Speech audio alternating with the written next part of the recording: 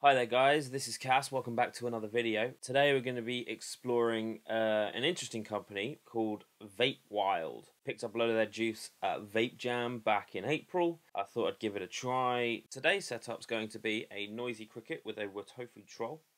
Uh, I've got dual Claptons in it, so it chucks vape and it tastes great, hopefully. Let's get straight onto our first juice. Our first juice from Vape Wild is called Butterbeer. Okay, I've got some on the wick. Let's have a vape.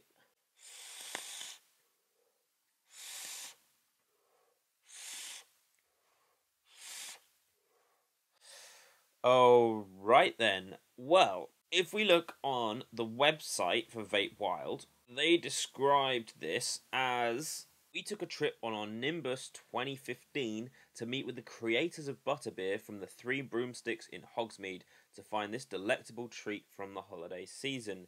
They describe it as butterscotch, vanilla, and cream. I'm not tasting any of those. You know what this tastes like? It tastes like sweet corn. Yeah, sweet corn. It's not nice. It's just not good. Another quick toot, and I'll uh, refresh my taste buds. It tastes like buttery sweet corn, which as a vape is not nice. And on top of that, it's weak. It I can't get any of that vanilla or the cream. There's no creaminess in there, not really. The butterscotch is completely lost. I don't know what they were using. I actually had a look on the website and they have mountains of flavors. Now, I lost count at just under 200 different flavors. That's a lot of flavors. Now, I have to question how much effort are they putting into these mixes to get all of these hundreds of different flavors? We're talking candy, desserts, alcoholic drinks, more candy, breakfasts, just so many of these. I want to forget about that butterbeer. It's awful. Let's move on to the next one. The next one we've got is called Professor Snipes Slytherin Sauce. Anyone noticing a theme here? Okay, so what do they say about Professor Snipes Slytherin Sauce? Step right up to enjoy Professor Snipes' new snake oil cure called Slytherin Sauce. This flavour was scientifically cultivated by using extracts from the amazing pear fruit, whilst also featuring a coconut cream from the tropics. This e-juice will turn into one of the greatest curios of all time. Let's have a go and see what it tastes like. I hope it's better than the last one.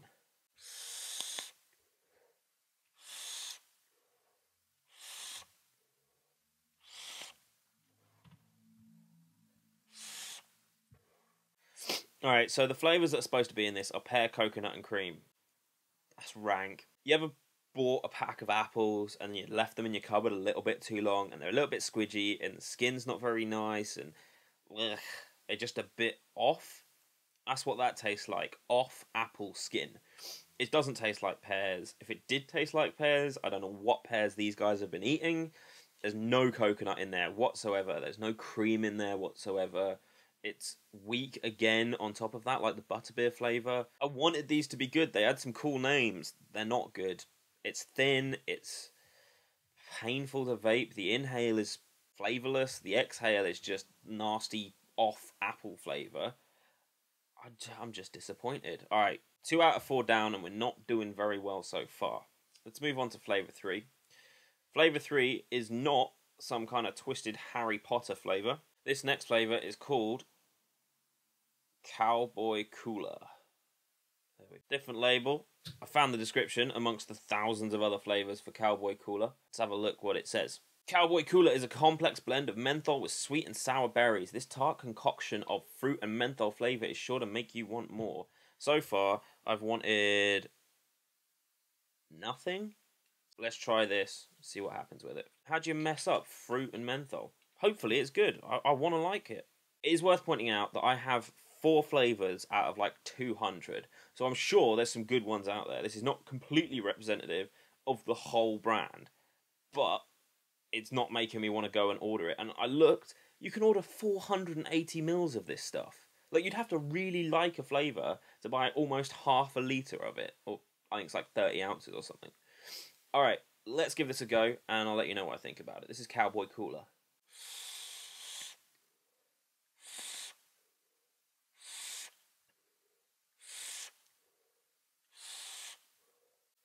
Okay, that's a little more pleasant. It's not so much berries, it's a little bit more like a watermelon candy kind of deal. There's a little hit of menthol, it's quite a cool flavour. It's just all of these are a little bit weak. There's not enough of it in there. You know, I'm just getting loads of vape and that hint on the exhale of the flavour. It's not an experience for me. And I really want an experience. Got that sort of cool menthol to it, but it's mostly watermelon. I'm not getting a lot of berries in there. Maybe a touch on the exhale, but I kind of get a candy watermelon out of it. And maybe that's just me. You guys might be absolutely loving this juice and saying, what the fuck is wrong with you? It's great. But I'm just not loving it. It's okay. It's not the worst of it. In fact, it's the best of the bunch I've tried so far. Let's give the last one a go. Hopefully, this one will redeem them a little bit. So, last flavour we've got is called Murica. See what mad concoction these guys have come up with Murica is a blast of sweet and refreshing layers of red cherries, tart lemon, lime, and blue raspberries. I've never had a blue raspberry. Murica tastes just like that red, white, and blue popsicle from the ice cream truck on a hot summer's day. Popsicle, lemon, lime, raspberry, and cherry are supposedly the primary flavours on this. Let's give this Murica a try.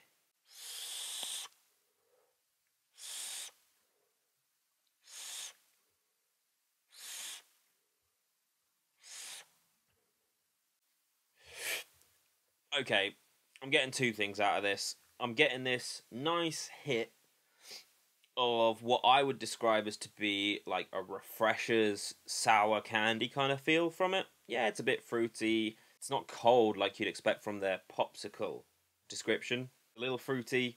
It's a little tart on the edge, but it's the aftertaste that kills this for me. You know that smell of a fresh urinal cake? That's what I would imagine it to taste like. Now, I've never tasted one, so I can't say for sure, but the aftertaste on this is bad. The vape is not bad. You know, it's alright, but the aftertaste is just oh, awful. It just feels like there's been no care into these flavours. They've just mixed things together because they've seen what's popular. You can buy them in like I'm just going to have a look at the options. There are eight nicotine options. That's a lot on its own. There are five VGPG mix options from 2080 right up to max VG. There are six different bottle sizes 10ml, 30ml, 60ml, 120, 240, and 480. That's a mad amount of options. If you combine that with like the I think almost like 150 200 flavors possibly they can't physically take enough care in each juice to steep them, get the mix flavors right, get it all nice. You can't just chuck concentrates in a bottle, mix it together to the right amounts, and send it out as a juice. Some of the best companies out there Wick Liquor, Zap Juice, Boom Juice. All of these companies, and a lot of those are UK companies, but a lot of these companies don't have vast, vast juice ranges. They're quite small. I mean, maximum like 15, 20 flavours. And that's built up over a period of time. That's a huge variety of juices. That's just too much to take any care over your juices. What I've tried is four out of 100 odd flavours or whatever. Wasn't impressed. Probably some of the worst I've ever tasted. There's been some bad ones out there, but for a company that are so huge and are obviously shipping mountains of this stuff, I'd expect them to be better. Thank you for watching. That's been possibly the most disappointing set of juices I've ever had. If you like this video and like watching me rant and complain about terrible juice, please subscribe to the channel, give us a like, everything helps out. I'm going to go and scrape my tongue. I will see you guys in the next video. Bye bye.